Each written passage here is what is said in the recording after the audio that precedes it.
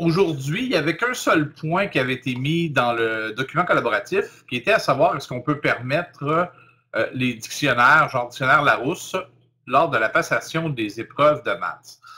Moi, personnellement, je suis allé voir, euh, je suis allé voir dans les DDE et euh, j'ai seulement vu ce qui était autorisé. Et les dictionnaires en font pas réellement partie, mais je me demande jusqu'à quel point il n'y a pas une, gestion locale de l'utilisation des dictionnaires. Euh, mais je suis un peu curieux de, savoir euh, dans vos régions euh, comment ça se passe. Est-ce que les élèves ont tous accès à un dictionnaire en salle d'examen? Vas-y, France. Oui, nous, non, ils n'ont pas le droit. Pas le droit de dictionnaire. Ce que je me demandais, France, c'était à savoir, est-ce que, est-ce que tu peux ça est-ce que ça vient du respect des consignes ou c'est une politique interne de dire ben, les élèves n'ont pas accès à un dictionnaire lors de la passation des examens, sauf peut-être en français? Euh, ben, ils, vont avec les DDE, puis euh, ils sont, très à cheval là-dessus. Donc, euh, on n'a pas le droit de dictionnaire. C'est comme ça. Mais c'est sûr que les enseignants, occasionnellement, ils reviennent avec ça en réunion, puis ils disent, ben, ça pénalise certains élèves qui ont besoin de, des fois, c'est des mots de vocabulaire euh, qui ne comprennent pas. Ça ne veut pas nécessairement dire qu'ils vont l'utiliser pour, euh, pour d'autres fins, mais nous autres, on n'a pas le droit. Alors, euh, on respecte ça. Marie-Ève aussi a dit que chez eux, les, élèves n'ont pas, n'ont pas droit au dictionnaire. J'imagine que c'est un respect des consignes de la DDE. C'est carrément en lien euh, avec ça. Je ne vois pas vraiment euh, autre chose. Ce qui est un peu dommage, par contre, hein, parce que je, il y a certains, euh, certains examens, parfois, je, la, je me demande jusqu'à quel point l'utilisation de, du vocabulaire, il y a une forme de richesse ou de, de, de comment je pourrais dire ça, sans être péjoratif, il y a, il y a quand même un, rehaussement euh, culturel d'un fois dans les, dans les termes utilisés et autres qui pourrait peut-être être ambigu pour certains élèves. Je me demande jusqu'à quel point ça peut, euh, ça peut jouer. Ça serait intéressant de, ça serait intéressant d'expérimenter auprès de certains élèves, voir la différence que ça pourrait faire euh, d'avoir accès à un, dictionnaire. C'est sûr qu'on on sait qu'ils n'ont pas accès à de la technologie, donc ils ne peuvent pas rapidement utiliser, mettons, leur téléphone mobile pour, euh, pour démystifier un mot, euh, ce qui pourrait leur permettre de, passer par-dessus certains mots. Mais bref, comme, comme, la, comme il n'y a pas de consigne contraire dans les DDI, e, c'est ce qui est fait. En tout cas, on va répondre à la personne qui nous a posé cette question-là. On va, je vais mettre euh, vos réponses dans le, dans le, dans le fichier collaboratif. Il n'y a pas vraiment d'autres sujets. Euh, vous avez reçu hier, probablement, ou avant-hier, je ne me rappelle plus quelle journée cette semaine, mais on a reçu cette semaine euh, une, euh, une, petite dérogation qui disait que finalement, les cycles des cours termineraient, ils seraient fermés, ben, de certains cours seraient fermés en août au lieu de juin. Je pense que ça, ça va soulager certains enseignants. Je ne sais pas si si effectivement ça a eu de l'effet, euh, en tout cas, bref, je pense que c'est une bonne nouvelle de savoir que les élèves pourront terminer leurs anciens sigles euh, d'ici le mois d'août. Hein. Si on prend un élève qui a commencé un sigle en avril ou en mai, ben, ça lui donne quand même un, 4-5 mois pour être capable de fermer son cours. on va espérer que c'est une bonne nouvelle. Est-ce que vous avez d'autres sujets que vous aimeriez parler, euh, France, Marie-Ève, Serge? Oui, France? Oui, j'avais, j'avais une question. Euh, nous, on se retrouve, bon, avec les examens actuels, il y a certains examens où qui ont, qui ont certaines questions qui sont plus difficiles ou euh, qu'il y a des erreurs dans la. Tu sais, les examens sont plus ou moins plus ou moins euh, parfaits jusqu'à date. Là, ça fait qu'on se retrouve dans une situation où une élève a fait a fait deux, deux épreuves, puis elle a eu deux échecs. La troisième version, on considère qu'elle est trop difficile pour l'élève parce que la troisième tâche a des erreurs, etc. Là. Puis euh, là, les enseignants se posent la question, qu'est-ce qu'on fait maintenant? Qu'est-ce qu'on fait? On se retrouve avec zéro, zéro version euh, disponible qui, même à la limite, si on lui donnait la troisième version, elle ne la passerait pas plus. Fait qu'on aurait passé à travers nos trois versions. Alors, qu'est-ce qu'on fait dans cette situation-là? On se demandait euh, est-ce que l'élève peut reprendre euh, après un certain délai? La première épreuve qu'il a faite? Euh, comment vous voyez ça dans comment vous gérez ça dans votre centre? Voilà. C'est une bonne question. Gilles, Gilles peut-être que toi, tu, tu es au fait de, ce, type de problématique-là. Tu, en as peut-être même vécu euh, avec les enseignants que tu accompagnes. Moi, je n'accompagne pas d'enseignants en tant que tel. Euh, c'est dur pour moi, mais je suis assez d'accord avec France. Euh, ça me pose un, problème parce que comme il y a trois épreuves présentement de disponibles, je pense que l'an prochain, ils vont monter à quatre ou cinq versions disponibles. Mais pour l'instant, on a trois versions L'élève en a fait deux, il a échoué.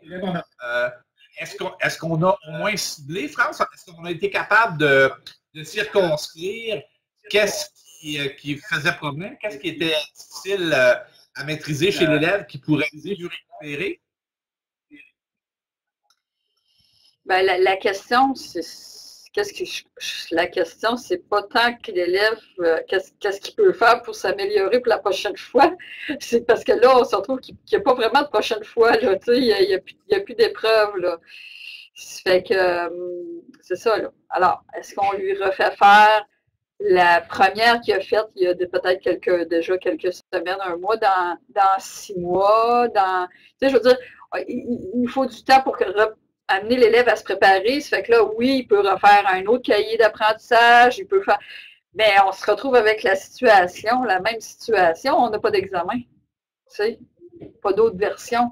Alors, qu'est-ce qu'on fait dans ce temps-là? Vous n'avez pas trois versions d'examen? Vous n'avez pas trois versions d'examen? Oui, versions. Mais la troisième, on, considère qu'on veut, ne veut pas lui offrir parce qu'elle est vraiment. Elle a des erreurs dans la troisième tâche. Elle est trop difficile. Ça fait que c'est pas gagnant pour l'élève de faire cette tâche, même s'il se prépare, puis il se prépare, puis il se prépare, s'il y a une confusion dans la mise en, mise en contexte, puis, puis l'élève n'arrive pas à interpréter la tâche comme il faut, comment peut-il la réussir? même les enseignants ne sont même pas capables de la faire elles-mêmes parce qu'il y avait des problèmes au niveau de l'interprétation. Fait que là, on se dit, ben, OK, qu'est-ce qu'on fait dans cette situation-là? Là? Je veux dire, ben, on aurait pu se retrouver à la même même affaire, après trois versions, ratées. Tu comprends? Qu'est-ce qu'on fait quand on a passé à travers nos versions? Vas-y, Gilles, je te laisse la parole. Ben, j'ai cru comprendre qu'il y a un élève qui, je ne sais pas si dans quel cours, euh, je ne sais pas de quel cours tu parles, est-ce que c'est un cours de la quatrième secondaire?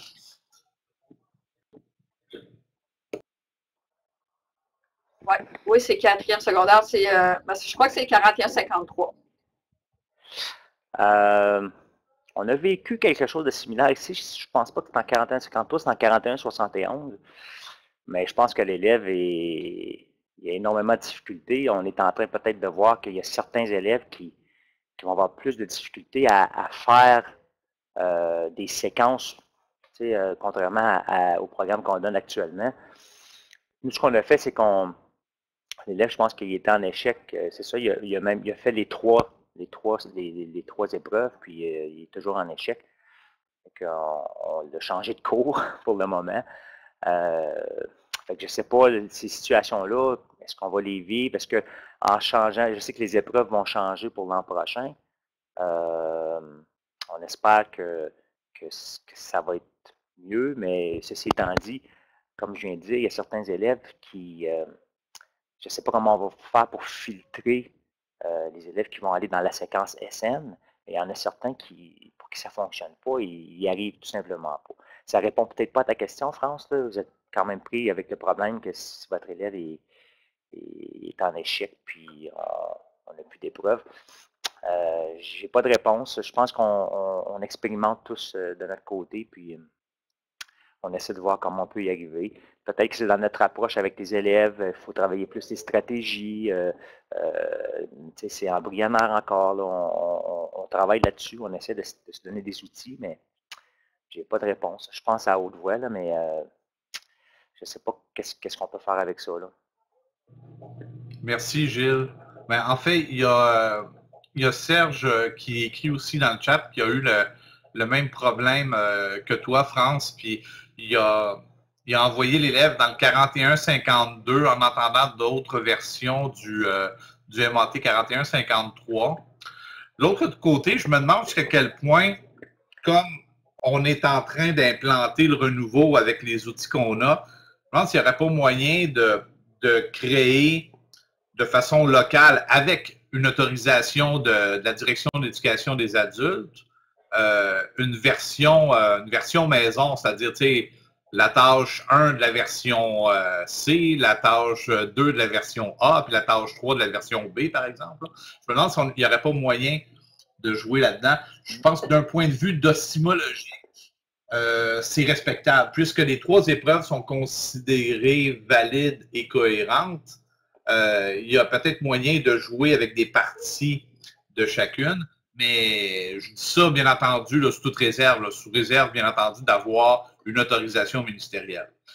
Euh, ensuite de ça, ensuite de ça, je pense que le problème majeur, il reste toujours au même endroit c'est que les consignes que les auteurs ont eues pour faire des, euh, les tâches, c'était les consignes sous la définition des tâches complexes dans lesquelles il y a toujours deux problématiques. Hein. Je me rappelle à l'époque, quand j'avais travaillé sur la rédaction de certaines épreuves, euh, puis moi, j'ai travaillé, malheureusement, j'ai travaillé sur des, des épreuves qui ne sont pas vraiment utilisées, mais moi, j'ai travaillé beaucoup sur la séquence TS. Fait que toutes les épreuves de géométrie de la séquence TS, j'en ai fait pas mal.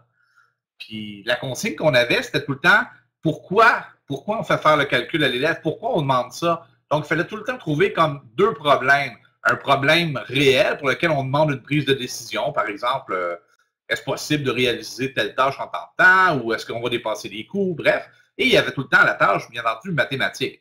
Fait que la tâche mathématique, le calcul, permettait de répondre à la deuxième question. Les tâches ont été faites comme ça, puis je me rends compte en consultant les manuels scolaires que les tâches présentées aux élèves ne sont pas faites comme ça.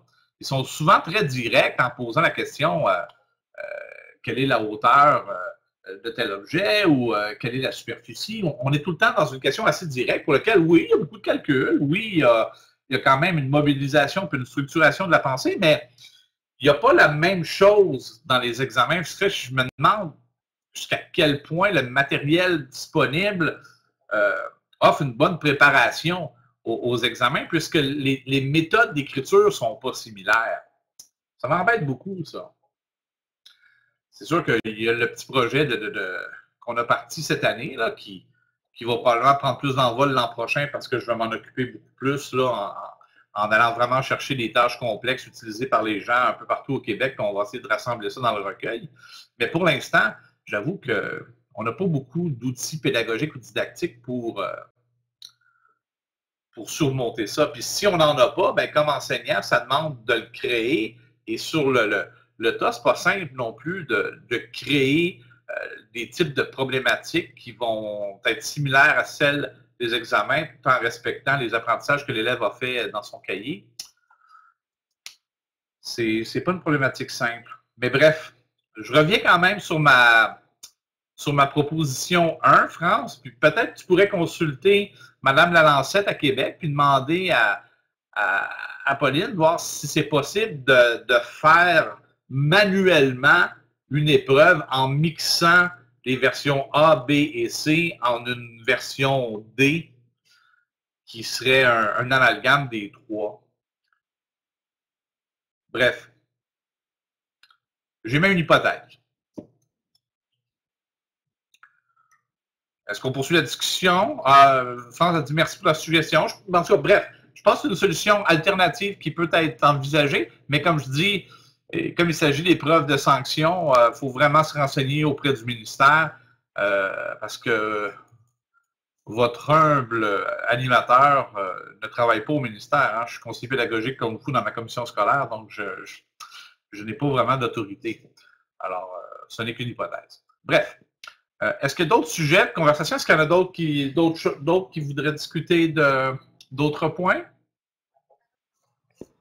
En fait, Martin, tu viens d'en glisser un mot, là, le recueil, le recueil qu'on essaie de, de, bâtir. Euh, il faudrait peut-être juste le, revisiter parce que je pense que là, les gens ont déposé des choses. Puis là, il y a, le, fichier recueil qui revient à plusieurs, euh, plusieurs ah. reprises. Là, fait que ça devient mêlant un petit peu. Là, euh, mais il y a ça, mais, mais aussi par rapport à ça, ben, je pense que la solution est là. Tu l'as mentionné, les guides d'apprentissage préparent pas nécessairement très bien à, l'évaluation, même si le but, ce n'est pas, pas, juste l'évaluation, mais, mais euh, on comprend que dans l'évaluation, les tâches sont plus complexes, puis que le matériel didactique des maisons d'édition, euh, ce n'est pas suffisant. Les questions, comme tu dis, sont trop directes. c'est d'autant plus important qu'on se fasse une bonne, euh, une bonne banque, un, bon recueil où on va travailler dans chacun des cours la résolution de tâches complexes. ça, ça devient important. C'est vrai qu'on est, bousculé chacun de notre côté là, avec l'implantation des nouveaux cours en sciences, en informatique. Les, directions veulent des unités optionnelles pour l'an prochain. Fait que on, est vraiment, on est vraiment très sollicité. Mais ça, reste, ça, reste quelque chose de, très important en maths si on veut que nos élèves réussissent. Ben, à, ce niveau, à ce niveau-là, Gilles, je peux, euh, je peux te dire une chose, c'est que j'ai vu, tu m'avais déjà écrit quelques courriels là-dessus. Euh, j'ai pas eu le temps de me pencher sur le problème parce que on, va le laisser aller cette méthode-là pour aller pour colliger euh, l'ensemble des tâches complexes. On va laisser euh, tomber d'ici juin. En début septembre, je vais recommuniquer avec vous parce que lors d'une rencontre avec Richard Coulombe à la commission scolaire, euh, il m'a dit qu'il euh, avait engagé un programmeur pour euh, faire une section spéciale dans Alexandrie. Donc, dans Alexandrie, les gens vont pouvoir y aller ben, sur le carrefour FGA. Vont pouvoir aller. Il va y avoir vraiment une section recueil tâches complexes avec un moteur de recherche dans lequel on va avoir les cahiers, les guides avec une petite fiche technique, comme on avait discuté lors de la dernière communauté, à savoir est-ce que la tâche est plus ou moins complexe, les savoirs et tout? On, une indexation, là, si on veut dire. ça, ça va, euh, ça, suit son cours. Ça, parce que moi, j'en ai reçu par courriel. Des gens m'ont dit, ben, peux-tu les valider avant de la déposer et tout? Il y a un mouvement là, qui a été initié. Euh, puis comme tout mouvement initié, si on veut qu'il se perpétue, il ne faut pas le lâcher. Donc, euh, ça, on va le tenir. Je pense que c'est un bon filon. Puis il ne faut pas laisser tomber les gens. Ça, on va le garder, le fichier. Pour l'instant, je pense que je vais aller jouer dedans temporairement là, pour le remettre droit. Puis je vais envoyer quelques messages sur le forum, mais je vais entretenir sur le forum Moodle, je vais entretenir différentes discussions concernant le recueil pour ne pas le, perdre de vue. De l'autre côté, c'est que, bon, bref, c'est plus personnel, là, euh, mais si, on a la chance de se parler euh, euh, en début de semaine, Gilles, j'en sais qu'on reparle du, petit, du petit projet d'Osimo dont je t'ai parlé il y a quelques semaines. Puis pour ce projet-là, euh, mes idées sont pas mal faites et on est en train de. Je crée une tâche complexe par cours pour être capable d'expliquer la cohérence des éléments prescrits. Que ça va nous, nous en donner quand même 19 en plus euh, de la dizaine que j'ai. Il va en avoir à peu près une trentaine qui va être déposée en septembre. Euh, plus après ça, je, vais vraiment faire des appels à tous pour essayer de combiner ça mais il va néanmoins, il va quand même rester des problèmes, des problèmes plus euh, quotidiens à résoudre à ce niveau-là. le problème que France vit, je pense, c'est un problème. On l'avait déjà vécu, excusez-moi, on l'avait déjà vécu à l'époque. Hein? Rappelez-vous, euh, quand on avait commencé les, cours de, logique, puis les cours de, avec le programme Romani, après ça, on est passé de la logique au programme Romani en 2006. on a eu des, phases d'échec comme ça où les élèves coulaient deux et trois examens. On prenait un temps, signature de la direction, on reprenait. Euh, c'est pas une chose simple, mais c'est un, problème qui est présent. Et du moment qu'il y en a un qui le vit, il faut qu'on trouve des solutions. Pourquoi ne mettez-vous pas les tâches sur la sur formation EDA? C'est quoi formation EDA, France? Est-ce que tu peux m'en parler? Formation EDA, écoute, les, enseignants l'utilisent régulièrement. C'est un site où on retrouve plein de prétests. C'est ah. vraiment, il y a des animations, il y a des tâches. Il y a des tâches aussi complexes qu'on retrouve là.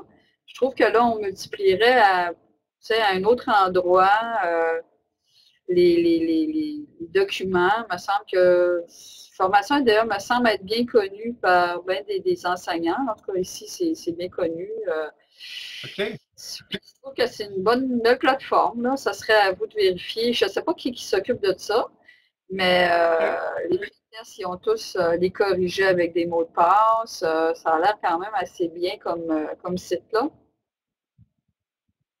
OK, ben écoute, j'en prends note. Je, viens de l'ouvrir, là. Je vais laisser ma. Je vais laisser un onglet ouvert. Je vois effectivement euh, calculatrice affichage graphique, programme, définition de domaine. Euh, il, y a, plein de trucs intéressants. Oui, tu as raison. Effectivement. Mais en fait, tu as raison. déposons ça à l'endroit le, qui est le plus accessible et qui est le plus populaire. S'il est plus fréquenté, si Moodle FGA est plus fréquenté pour ça, ben, on le met là. Si c'est EDA, ben, on le met là. Si c'est Alexandrie, bref, c'est important de le déposer à l'endroit qui ne change pas les habitudes de navigation des gens, ou du moins le moins possible. Parce qu'on sait c'est quoi, comme Gilles disait tantôt, euh, moi, ça fait des années que je travaille plus dans les centres. Je pense que ça ne doit pas être facile, parce que là, tout s'implante en même temps avec des difficultés différentes et surtout qu'en FBD, euh, notre plus grande responsabilité, c'est d'emmener l'élève à obtenir ses 54 crédits. Et là, ça prend les crédits optionnels, les crédits obligatoires, le régime pédagogique. Donc, on a tout un amalgame. Puis, pour avoir travaillé pendant 10 ans dans un centre d'éducation des adultes, euh, c'est pas simple. C'est pas simple d'avoir à, tout mettre ça en, place. Et c'est élève par élève pour euh, puisse réussir son profil ou ses, préalables ou euh, son diplôme d'études secondaires ou l'accès au cégep. Il y a beaucoup de scénarios différents. Puis là, on traite, on est en train de traiter beaucoup de problèmes mathématiques simultanément. Ce qui fait que focuser sur l'aide au développement des stratégies pour la résolution de problèmes en maths, euh, il faudrait quasiment se répartir le travail. Hein? faudrait qu'on ait comme des responsables euh, pédagogiques un peu partout au Québec qui mettent ensemble euh, différentes solutions à différentes problématiques.